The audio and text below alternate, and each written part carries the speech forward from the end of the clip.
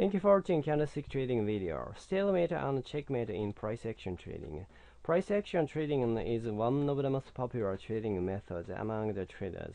In, in spite of using various types of indicators, price action traders use price movement to make their trading decisions.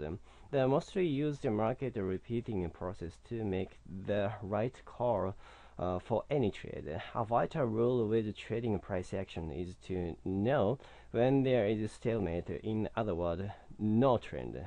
Uh, trend traders spend a lot of time uh, inactive in the majority of markets waiting to see a trend.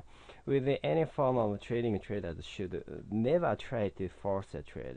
Traders have to keep actively looking, but that does not mean they are always actively trading.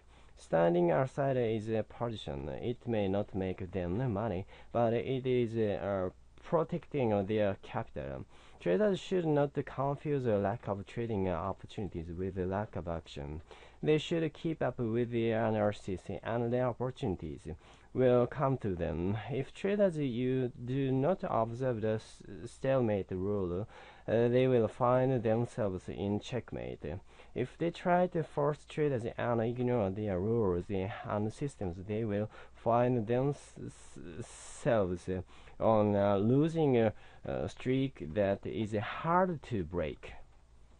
One of the biggest uh, difficulties successful people find with trading is that they have no control over the market. It never does what you ask it to do, and it never listens to even the most reasonable of demands. As traders, all they can do is look for the very best opportunity, risk a small amount of capital, get risk-free as soon as possible, and repeat as often as it is safe to do so. If traders can understand price action and apply a few sensible rules, then our winners will generate enough profit to cover our losses and provide us with a healthy income. Thank you.